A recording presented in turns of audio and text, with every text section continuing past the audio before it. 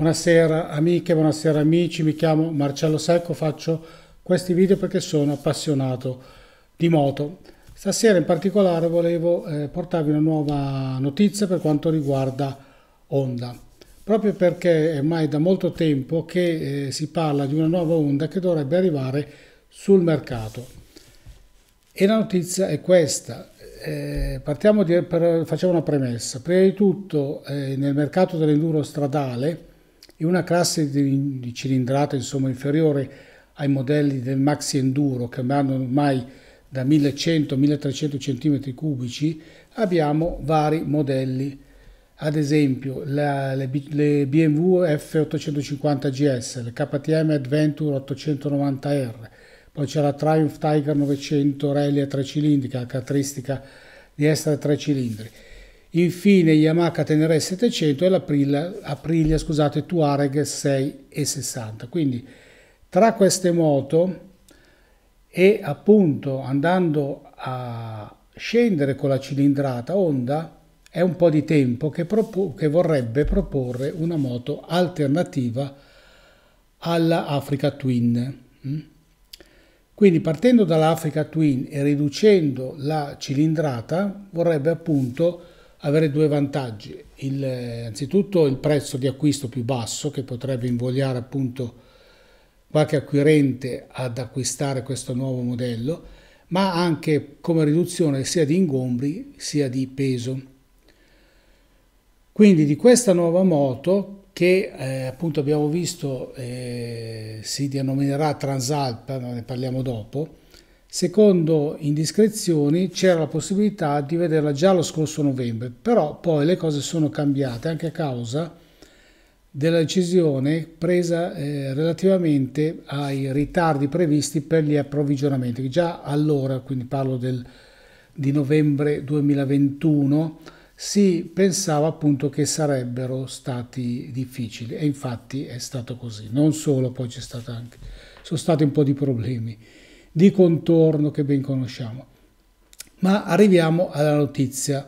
La notizia che è dell'altro ieri, perché ormai è passata mezzanotte, comunque di, del 22 agosto 2022, ed è stata pubblicata sul sito giapponese del mensile Young Machine, è che Honda ha richiesto la registrazione del nome, attenzione, XL750 Transalp lo scorso 12 agosto all'ente di omologazione nipponico che è stata, ed è stata poi resa appunto effettiva il 22 agosto 2022.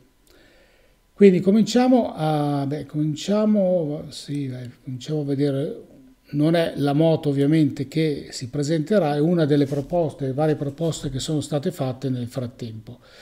Allora, qui vi ho messo un link, vedete qui in descrizione, se andate a vedere in descrizione, dove avevo parlato del fatto che eh, l'Africa Twin si sarebbe potuta presentare con una cilindrata di 850 cm3, in realtà da questo comunicato la cilindrata sarà di 750 cm3.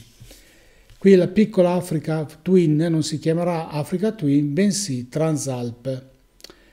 Il nome Transalpe, qui metto un altro link che riguarda il mio video dove parlavo della Transalp dell'87 per l'appunto, veniva ripreso da questo modello che ci tengo a precisare come nel nome faccia riferimento a uno specifico progetto che Honda aveva fatto in quel periodo, a partire dall'86 per essere precisi. Il prototipo era quindi concepito specificatamente per l'Europa lo stile Transalp spiegato già dal nome, per Transalp, cioè che si colloca appunto eh, a cavallo delle Alpi, per, per dirla tutta, insomma.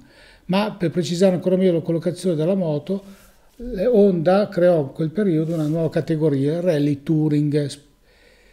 Allora, questo vuol dire che eh, la moto potrebbe anche discostarsi da quella che è la filosofia appunto che è legata a Africa Twin. Quello che potrebbe essere però vero è che avrà la ruota anteriore da 21 pollici, quindi una connotazione appunto piuttosto fuoristradistica. Eh, oltre al nome Transalp, già nuovamente depositato in molti mercati, Europa quindi compresa, C'è quindi certezza sulla cilindrata, abbiamo detto, un propulsore che sarà la base anche per la nuova Hornet e altri due modelli, quindi un bicilindrico fronte marcia. La eh, XL750 Transalp non si presenta però come sostituto della crossover NC750X perché la NC750X in realtà non è una moto come dire entro enduro, so per capirci, ma è una moto dedicata prevalentemente all'asfalto. Infatti la gommatura, a parte le ruote in legame, è anche eh, di 17 pollici e quindi è un pubblico diverso. Quindi la NC750X dovrebbe rimanere in catalogo. Mentre appunto la Transalp dovrebbe avere la ruota da 21 pollici e le ruote a raggi come l'Africa Twin, insomma e soprattutto come le precedenti Transalp che sono partite da 600 cm3 per arrivare poi alla cilindrata di 700 cm nel corso del tempo e con il motore bicilindrico AV eh, avrà invece appunto questo tipo di motore ed entrerebbe quindi nel segmento dove sono già presenti la Yamaha Tenere 700 e la Priglia Tuareg 6S60 e questa nuova interessante insomma, enduro stradale dovrebbe avere quindi una potenza, queste sono tutte ipotesi, di un'ottantina di cavalli, invece per quanto riguarda la commercializzazione della Hornet, la probabile Hornet di cui era stata presentata così un'idea al precedente salone, la potenza potrebbe salire anche a 100-120 cavalli. Naturalmente per una moto come questa dedicata più a un fuoristrada leggero, la potenza potrebbe essere minore, magari la coppia maggiore, quindi ragionevolmente un'ottantina di cavalli, però con un peso delle dimensioni adatte a un pubblico più eterogeneo, quindi un peso minore rispetto a queste maxi eh, da fuoristrada e dimensioni anche più ridotte. Questo è un po' il quadro che mi sento di tracciare dopo questa notizia. Bene, quindi se vi è piaciuto il video mettete un like, se non vi è piaciuto un dislike, iscrivetevi al canale, attivate la campanella per essere sempre e costantemente aggiornati. Se vi è piaciuto il video, se sentire parlare di moto vi fa piacere, questo aiuta sicuramente il canale. Qui sotto i vostri commenti molto, sempre molto graditi. Ciao, buona serata.